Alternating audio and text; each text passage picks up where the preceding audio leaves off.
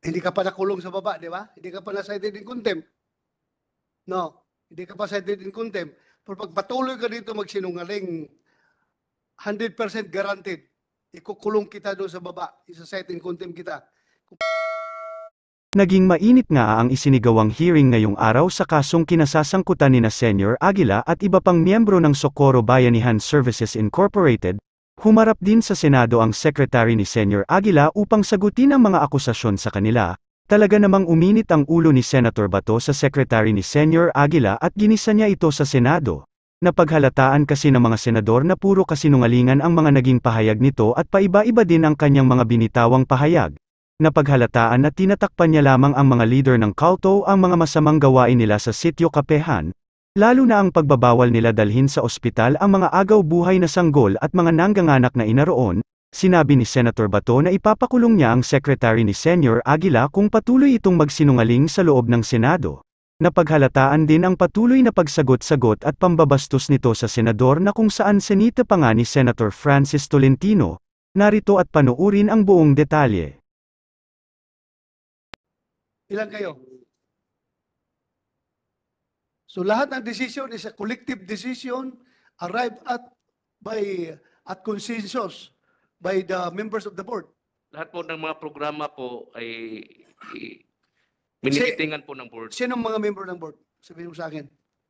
For the record. Ah, kaday vice sa secretary si Ching ha. Andito yung secretary. Please, uh, nag- nag-out ka na ba? So sino-sino yung mga members of the board? Uh, good morning po, uh, Mr. Senators. Yung member po ng board, we have the President, uh, Senor Aguila, the Vice President, Mamerto Galanida. I am the Secretary General, Treasurer uh, Flor de Lis Ilandag, Board of Directors, uh, that's uh, Karen Galanida, Winifredo Buntad. Uh, Nandito ba si Buntad? yes, nandito po. Buntad? Nandito si Buntad? Lilibet Goma, Sami. Sandali, nandito si Nandito Buntad? po si Buntad. Yes po. Buntad, halika, upo ka dito. Yan yung... For the record, Mr. Sang, Sige, Ah. please continue. Si- Sino? si- Continue. We Ilan have, yung nasabi mo? uh, BOD Jaime Walo, BOD Sami Cordita, BOD Lorlito Digal, Oscar Arcular, Rodolfo Ahok uh, Jr.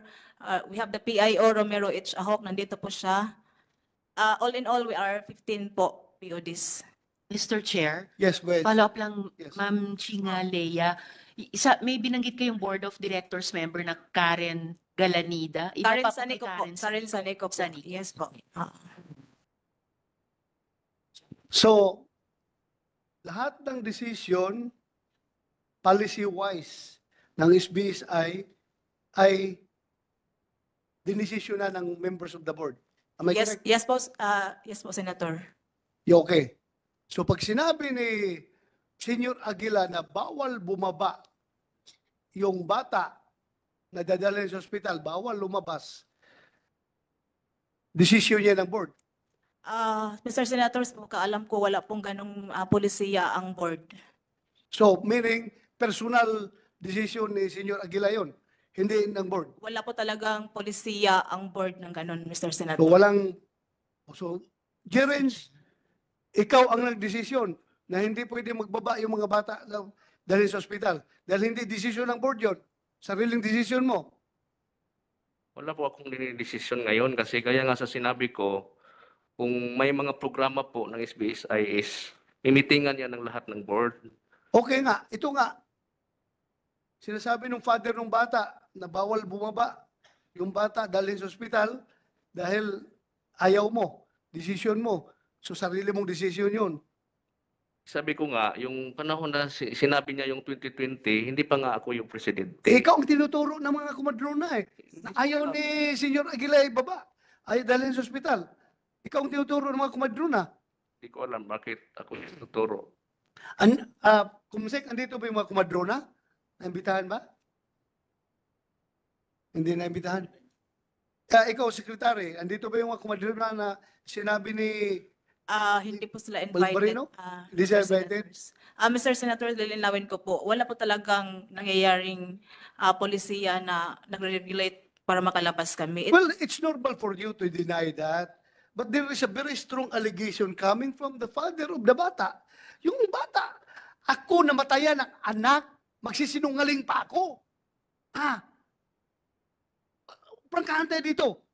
Huwag mo isipin na tao, ah, senador ako, ordinaryong tao. Kung ako ang tatay ng bata na matay dahil nga pinipigilan, magsisinungaling pa ako.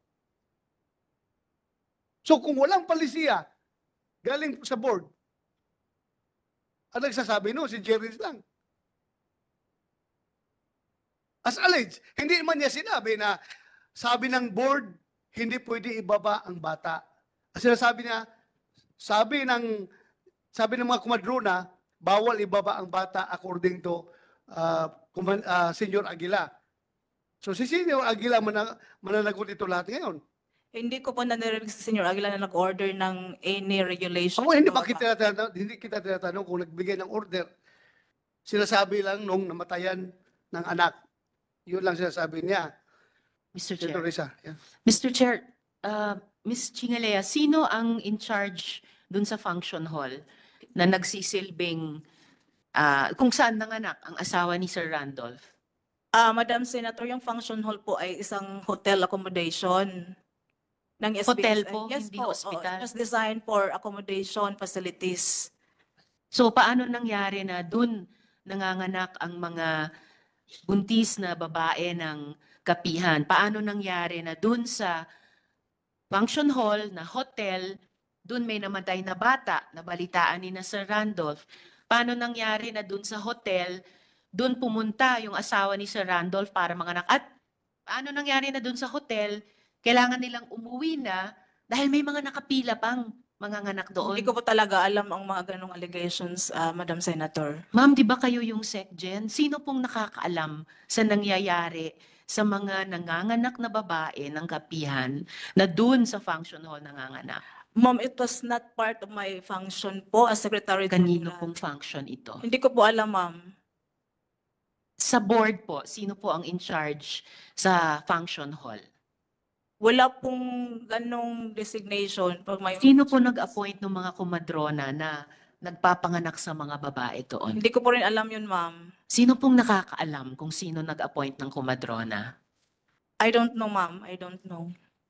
Mr. Chair, medyo imposible na mayroong ganong ka-importante at basic na institusyon, paanakan, na walang nakakaalam kung sino nag-appoint ng mga kumadrona na siyang nagsabi sa amang ito na pinagbabawal ni Senyor Aguila bumaba yung mga baby na nanganganib. Kaya nga, uh, Chingalia Yama Yamson, you are the secretary. Ibig mong sabihin, bigla na lang pupunta doon sa paanakan yung mga mga kumadrona na yon without uh, anybody's uh, order or anybody's uh, uh, request or anybody's uh, appointment or what? Ang nangyayari po kasi, Senator, isa po, po kaming buong... ah, we have a bigger community, yung kapihan. May mga nabuntis. Tapos ang layo ng hospital po sa kapihan. So may mga instances, may mga, sinasabi na po may mga kumadrona kasi mga BHW sila sa ano, sa lungsod pa. So siguro, pag nanganak sila, in, in, in times of emergency, sila po yung kinatatawag. wala po yun. Ano? Ganun na lang? Ga- Ganun na lang? Ganun na lang? Senator kasi, na, kahit, kahit sa, sa amin, sa nanay ko, na-practice na po kasi yun na pag nanganganak ka tapos malayo ka sa lugar, natural, you have to call help sa mga, al- may mga ano experience po na But you magpapaanak. are an organized uh, people's organization. Ha, di ba? Organized kayo masyado eh. Ibig sabihin na lang, free for all na lang, kung sino-sino na lang. Pero pag pababa, binabawalan ninyo. Kung may papasok, binabawalan ninyo. Pero ngayon, yung responsibilidad sa pag-maintain ng hospital na ginagawa ninyo, wala kayong matuturong responsibilidad kung sino ang dapat mananagot dyan. Senator, wala naman po talagang hospital doon. O hindi ka hospital, yung panganakan. I don't mean hospital. I mean, yung paanakan, kung saan pinapaanak ng mga bata. Wala talaga. Wala pong nangyayaring ganun, Senator. Ang Ano walang nangyayari? Walang nanganganak doon? No, may nanganganak po. Pero ang sinasabi ko po, in times of emergencies, kasi ang layo ng lugar. Hindi nga. Ang tanong nga ni Senator Risa, kung sinong namamahala, sinong in charge doon. Hindi ko po talaga alam, Senator. Ay, nako! Anong klaseng sekretary ka? Meron ka nga listahan sa akin ng mga patay. Yes po, ah, binibigay po ko, s- I was asked by the NBI to, to furnish us a copy of that. Pero yung nabigay ko po sa inyo ay, di ba mga 30 deaths lang po yun? Because I was cooperating with you. You have to cooperate. As, as dito sa hearing na ito, mag-cooperate ka rin kung sino ang dapat ah, mananagot Hindi ko dyan. talaga masagot yan, Senator. I'm so sorry po. Wala talaga kong alam. Wala, hindi kita pipilitin, pero hindi ako naniniwala sa'yo. Ah, hindi kita pinipilit, pero hindi ako naniniwala sa'yo. Go ahead, Senator Risa. Saka Mr. Chair, yung sinabi po ninyo Ma'am Chinga Lea na 30 lang yon sa listahan. Aba, eh kung ikumpara natin sa ah, infant mortality rate ng buong Pilipinas, 2.42 infant deaths per 10,000 Ah? 1,000. per 1,000 live births. Eh baka mataas po ang 30 at hindi po 30 lang. And follow up po ma'am, sabi nyo yung mga kumadronang yon ay mga BHW? Kino-confirm nyo ba mga BHW? Yung, di ko nahuli eksakto yung mga pangalan nung sinabi ni Sir Rando, pero Hogar, may Virginia yata, may Jonah or Jora, apelido Mesias, pero baka mali yung pagdinig ko at may isa pang pangalan. Yung apat ba na kumadronang iyon, ah ito pala, tatlo nga. Jela Hugar, Virginia Mesias, at Jonah Ramirez. So itong tatlong kumadrona na nag-attend sa asawa ni Sir Randolph, sa mama nung baby na namatay, sinasabi nyo ba sila ay mga BHW? Ah, ang sa pagkakaalam po, yung si Mesias at si Hugar po ay BHW. Hindi ko po alam si Jonah Ramirez po, ma'am. Okay, so alam nyo na si Jela Hugar at si Virginia Mesias ay mga BHW. Hindi nyo sigurado yung Jonah Ramirez. So may alam kayo dun sa paanakan. Kasi alam nyo yung status nitong dalawa sa tatlong kumadrona na BHW pala sila. Kasi nakasama ko sila. Sa, sa lungsod pa yung knowledge ko na BHW na po sila, ma'am. Okay, pero alam ninyo na bilang BHW, nagsisilbi silang kumadrona dun sa paanakan. Tama? Hindi, siguro sila yung tinatawag pag may mga Siguro nganak. sila. Kanina. Ay, Hindi ako, siguro, Senator Mr. Chair, Risa. eh. Sigurado ang sinabi kanina eh. Chinga, Leah, Yamson, hindi ka pa nakulong sa baba, di ba? Hindi ka pa na-cited in contempt. No, hindi ka pa cited in contempt. Pero pag patuloy ka dito magsinungaling, 100% guaranteed, ikukulong kita doon sa baba, isa-cite in contempt kita. Kung patuloy ka magsisinungaling dyan. Very clear. Na nandoon ako, sabi mo pa nga sa akin, nung binisita ko kayo doon, sabi mo pa nga sa akin, na meron kami mga narcissist dito, sir. Di ba? Sabi mo may narcissist. Alam mo. O pero ngayon, hindi mo alam kung sinong nagmamanage doon sa paanakan na yun. Sir, wala po talagang nagmamanage. Ang nangyayari kasi nga practice doon, kasi we know na may mga nurses as BHW. Ak- For example, ako, pag nag-need ako ng help, nilalagnat ako, I need to consult with the nurses. Ganun po kasi community knowledge na po yun, sir. Kaya nga, o alam mo pala. Even the community knows it. Ikaw, hindi mo alam kung sinong in charge doon. question mo kasi is sino ang nagmamanage. Wala po talagang nagmamanage. In times of Eh, emergency, sila ibig mo sabihin, lumabas lang yan ah, paanakan na yan na walang, ah, walang, walang in charge, walang ah, gumawa. Sir, may mga home deliveries nga kami doon. Kung may paanakan kami, bakit may home delivery? May mga Chair, cases Mr. po kami Chair. ng home Ay. delivery. Mr. Chair, Yes, go ahead, Senator Tolentino. we ad- admonish the resource person that you're not supposed to argue with the chairman during a committee hearing. I'm sorry po, I'm sorry. Thank you. Thank you, Senator Tolentino, for that reminder. Senator Risa? Yes, Mr. Chair. So, ah, sa kabila nung kababalaghang mga pabago-bagong sagot ni Ma'am Shingalea, pa, Sir Randolph, kung pwedeng kumpletuhin niyo yung kwento nung inyong baby. Um, yung kanyang paano po siya namatay, tapos pagkatapos nun, saan niyo po iniliping? Motong pagka alas 2 sa kadlawon tungod kinatuyog naman ko sa alas pagka alas 12 sa tungang gabi akong asawa nagbantay namukaw na namukaw na akong asawa nagpahilak si Jack Um, 2 o'clock in the morning, yung um, ah, tulog tulog na siya, ah, bigla siyang ginising ng asawa niya na umiiyak. Para rin diyang humilak. Na, wa ko kasab- lang. I, I would like to acknowledge the presence of Senator uh, Francis Tolentino. Thank you, uh, Your Honor. Please continue. Tinga ako kay ara naman diyang humilak, dili na diyang mamati og pangutan-on unsa nahitabo. Matong dito na di ang bata nga hinggahi na eh, matay. Nag, nagtataka ako bakit um, grabe yung iyak niya, hindi na siya nakinig sa akin. Nalaman ko na tumigas na pala yung ah, katawan ng bata. Mao to na na ano po ko yung mahimo, hindi mohilak ra kan. Wala na akong nagawa noon, umiyak na din ako. Mao tong pagka atong nahitabo, ingat to ang ang ugangan na ingat to ni Senyor Aguila nangonsulta og unsay buhaton matong ingon si Senyor Aguila nga dapat ra kang kuno to na nga kalipayan kay waya na ko'y mga pag-antos. Um, pinuntahan yung mother-in-law ko, um, tsaka sinabi niya na dapat na akong matuwa kasi wala na akong ah, dapat ipag-alala kasi sinabi ni Senyor Aguila na okay na yung bata.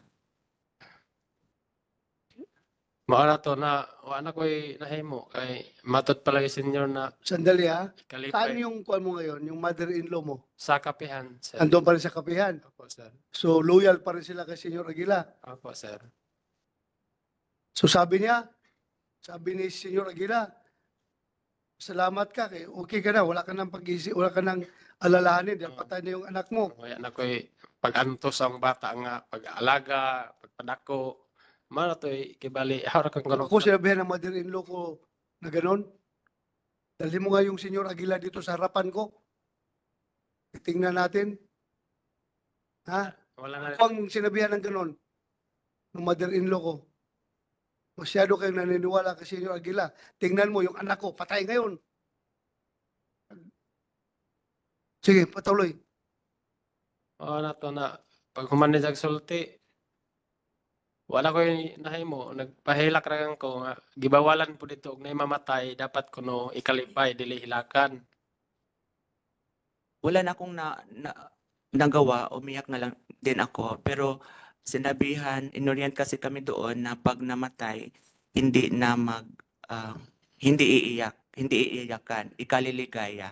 Natatawa ka nun. Yes, sir. Ha? Di. That, that's brainwashing. Ha? That's brainwashing. Bini-brainwash kayo na sige, mas, maligaya na lang kayo kung may, may mamatay para hindi kayo magreklamo, hindi kayo pupunta sa polis, magpa-blatter na namatay yung anak mo. Ganun na, brainwashing yun. Continue. Mato pagkabuntag, sige raman kong hilak, ang ahong ugangan na laki mo na po to'y nagpatigadon sa lungon. Kinaumagahan, yung ma- ah, father-in-law ko ang nag-asikaso ng ang bangkay saka yung um, lagayan ng kabaong ng bata. Kasi iyak na lang ako ng iyak. Eh, syempre naman po. Eh, pati ba naman damdamin nyo, eh, sasabihan pa kayo kung paano kayo dapat, ano dapat ang damdamin nyo sa pagkapantay ng sarili nyong anak. So, paano na po inilibing yung anak ninyo nung father-in-law nyo? Atong gusto ko na na, na ang bata para panahon nga na ay madagkutan o maduaw na ang pahimuan o pansyon, siminto. Gu- Gusto ko sana na yung bata, ah, yung yung lib, merong libingan na ng bata para ah, semento, sementado para pag ah, dating ng meron kaming matirikan ng ng kandila man lang. Ganyang pagpasok ng bahagi ng katawan sa bahagi ng katawan ng ibang tao na walang pagpapayag, sakop pa yan ng iba pang batas, Mr. Chair. Bukod pa po sa iniimbestiga na nating marami. Hindi, I I don't know kung matcha-charge siya ng medical malpractice. Hindi naman siya Baka higit medical pa doon, practitioner. Mr. Chair. Hindi mo siya medical practitioner. I-check ninyo. Hindi siya medical practitioner, so he cannot be charged with medical malpractice. Opo, Mr. Chair. Unauthorized practice. Actually, Mr. Chair, ba- Baka mas malala pa. ha? Ah, mas Baka yung, yung Yeah, yeah. ah, ah, expanded anti-rape law, Mr. Chair. Pero Yes. Hindi natin iniimbestiga yun sa ngayon pero nakakashock yung parami ng parami ng mga natututunan natin sa mga testimonya. Sige, please continue. Matong sa December 15, pagka alas 6 sa hapon, December 15, uh, 6, uh, 6 p.m., 6 o'clock in the afternoon. gi- gipauli nami sa ah, dito sa ospital gi ngutana ko pwede na ba ni i- uli sa among bahay kay daghan na may mga nakay naghuot naman mi dito sa iska kwarto. Pinalabas na, ah, pinalabas na, at tinanong ko kung pwede na kaming lumabas sa hospital namin um, kasi marami ng ah, ma- manganganak din. So, so, nahadlok po ko kay sa amo pong nasundan pagpanganak dapoy bata na nanganak dito na napatay po. Natakot ako kasi yung um, sinundan naming nanganak, namatay din yung bata. Ah, so Sir Randolph, hindi nag-iisa yung anak nyo noon na nanganganib na namatay, mamatay. May nabalitaan kayo, yung mismong mga araw na yon, may isa pang baby na namatay, namatay na, naunang namatay. oh diha ma'am Sige po, ano, ano po yung mga susunod na nangyari? Motong pagka alas 6 nang uli nami sa bahay namo dito sa amo na gudong gipuy-an so dapat sa kapihan Umuwi na kami ng 6 ah, o'clock in the afternoon kasi malapit lang naman yung bahay namin sa hospital namin. Tong ako'y nag-aliglar sa bata ko to alas 12, kugos-kugos na ang bata. Ako yung nag-aalaga ng bata until 12 midnight, hating hanggang hating gabi. Mga to nga, kapoy yung lawas, wa ito, pila na, gunad pas, dito pas function hall, wa ko ito, hing reklamo ko sa asawa nga, mupuli anay si Jag Bantay. Matamlay, ah, mahina yung katawan ko kasi wala pa akong tulog. Ah, y- kaya sinabi ko sa asawa ko na siya muna ang magbantay ng bata, mag-alaga. Pero, Randolph, kung ako yung tatay noon, nakita ko yung bata mga nganib, bahala na kung ah, patayin niyo ako, Senyor Aguila. Itakbo ko talaga yung anak ko doon sa baba para masave yung bata. Bakit hindi mo naisip yun? Ako, magsuicide ako ha. Isuicide ko, takbo ko yung bata ko. Sige, habulin niyo ako, Aguila. Uh, hulihin niyo ako, basta dalhin ko itong bata sa ospital. Hindi mo naisip yun? Kauna-una ko sir, pero wala akong magawa kasi yung asawa ko nagsasabi na wala daw akong tiwala kay Senyor Aguila. So meaning, ikaw dinidissuade or uh, kinukumbinsi ka ng asawa mo Na, na maniwala kay Senyor Aguila. Huwag mo nang dalhin yung bata sa ospital. yun ang sinabi niya. Tapos wala rin akong magagawa kasi kahit napilitin ko man na ilabas yung anak ko kasi mayroon dalawang gate doon na nakabantay na mga membro ng SBSI, wala rin akong magawa. Eh, kasi hindi ka makalabas doon pag walang authorized ni Senyor Aguila. Sayang, sayang yung buhay ng anak mo. Baka mamaya pag lumaki yun, baka naging senador pa yun. Diba? Sayang. Dapat ah, ako, kung akong tatay noon, ah, suicide na ako. Bahala kayo, Aguila kayo. Bully niyo ako. But anyway, Mr. Chair, tapos na yun. Wala tayong magawa. Yes, go ahead, uh, Senator Risa. salamat kaayo, Mr. Chair. Kaya nga, Sir Randolph, na, nakiramay po kami ni Chair sa nangyari sa inyong pamilya.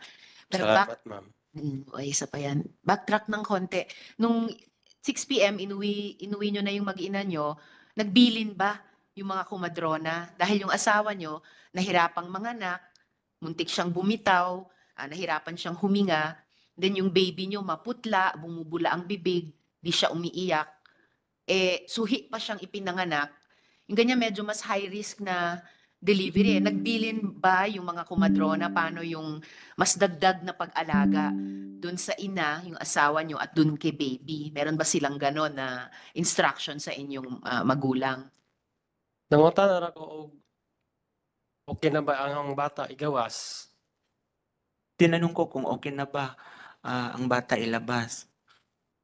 O, matong ingon sila nga okay na. Okay na daw. So kahit ganun yung kondisyon nung baby at pati nung asawa nyo, kahit may namatay na isang baby pa, bago lang bago kayo pumunta doon sa function hall, walang special instructions na ibinigay. Noong panahon yun, ma'am, ma- parang busy sila kasi mayroon na namang nanganak na susunod sa amin tapos wala nang parang na-busy sila ma'am, wala na instruction para ma- ano yung ah, i- dapat sa pa- ah, gamot sa aking anak. Okay po. So, yes, Mr. Alam mo, Senator Risa, kayong apat, makinig kayo. Kung yung lahat ng mga nangamatay na bata, namatay dahil sa kapabayaan, kung pareho sila ng sitwasyon ni Randolph, yung parents, na hindi pwede baba dahil pinipigilan ninyo, the blood of these children are on your hands. Ha? Ako, sabihin ko na, hindi ako judge. Hindi ako judge, pero ako'y ordinaryong tao lang. Pero sabihan ko kayo ngayon lang, ngayon pa, na kung nangamatay yung mga bata na yon, kadaming bata doon na nakalibing dahil sa kapabayaan, dahil hindi nadala sa ospital, paprangkahin ko kayo, kayong mananagot doon. Bakit namatay yung mga bata? Dahil pinipigilan ninyo na bumaba at pumunta sa ospital. Mr. Galanida, please, kung meron kang gusto sabihin, sagutin mo ako.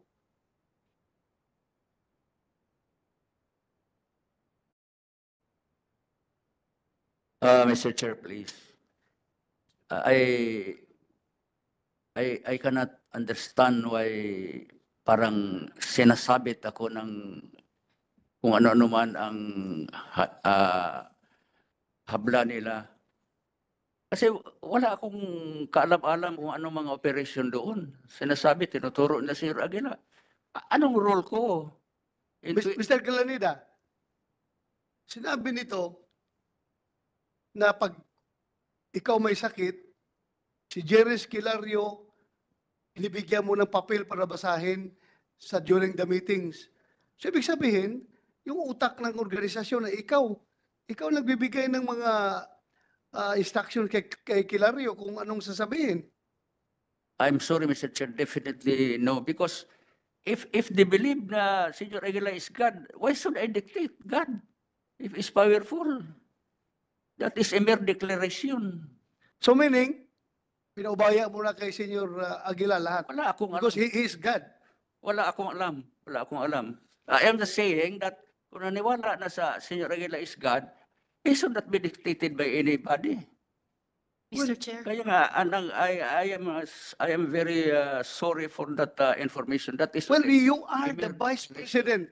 of Senor Aguila, the president who is considered by these people as your God. So meaning, naniniwala ka rin na God si Hin- si si presidente mo. hindi po. Hindi, Hindi po. ka naniniwala. Hindi po ako naniniwala. Ang God ko is lang God the Father. So bakit mo siya sinusuportahan?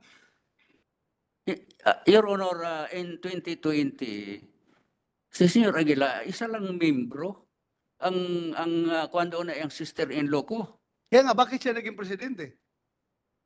It, uh, it, explain na namin nung una na on uh, Sandali lang, you, you just answer my question. Ha?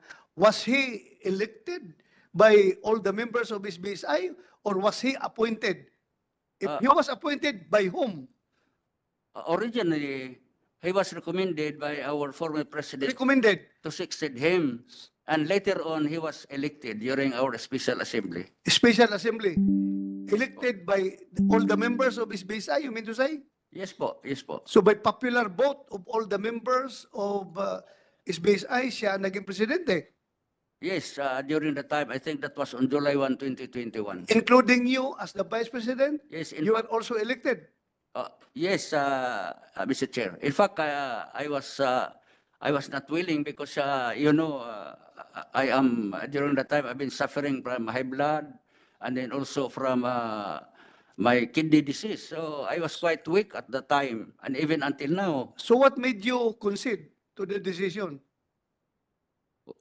You were not willing initially.